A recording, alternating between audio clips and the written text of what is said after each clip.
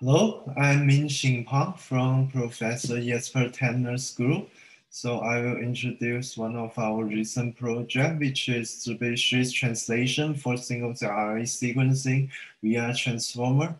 And, and the first uh, manuscript of the, this project have, uh, yeah, have, have shown on the ICML Computational uh, Biology Workshop in 2020 as oral presentation. The title is the representation learning and translation between the mouse and human brain using deep transformer architecture. Okay, and here is the motivation. So, so the purpose is to tackle the atlas level data and utilize transfer learning across species to transfer the information as uh, prior, prior knowledge. Yeah, and can provide good embeddings for downstream analysis. And we also consider the unsupervised clustering for the single cell RNA sequencing and the data integration. Yeah, so here is the model architecture. So this model is inspired by the BERT in the natural language processing. So here is the model architecture and it encodes 20,000 genes. Uh, yeah, just as like the in the natural language processing, they encode 20 words into uh, uh, uh, embedding representation space. Yeah, so, so the model as input is a single cell data and, and go after the the linear model they, and, and then go to the transformer encoder and decoder to get uh, reconstruction from the noise input. Yeah, so this is the first stage, uh, which is the pre-training stage. So yeah, so the idea is that pre-train by the reconstructing uh, the noise input.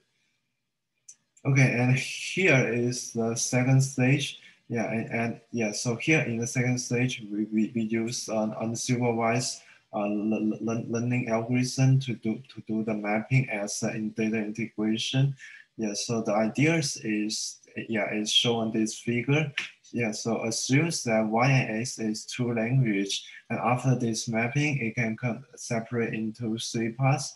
One is y as the as the anchor, and the second part is wx, which is the local structure of Wx is very similar to the Y, and the outlier part is some yeah some words or or yeah or some cell types only appear in the language X. Yeah, so the idea is that similar to a language, yeah, we treat the different species as different languages.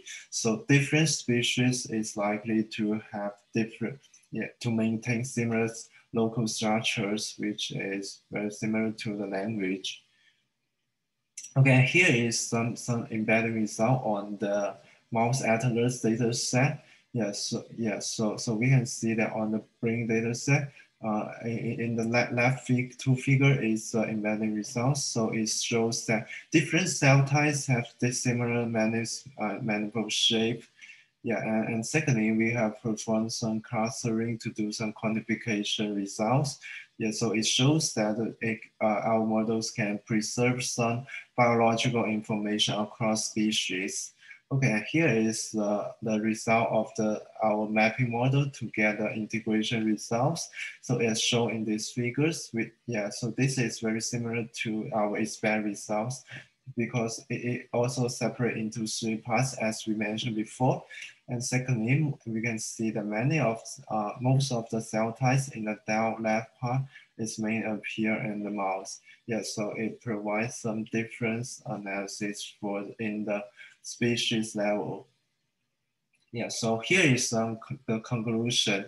So firstly, our transformer model, uh, our experiment shows that the transformers model can capture some species, species uh, specific features, yeah, which very helpful for the uh, transfer learning. Yeah, and secondly, uh, we also show that the unsupervised translation does well in the automatically uh, data integration. Yeah, so that's the result uh, we get so far in this project. Okay, thank you for your attention.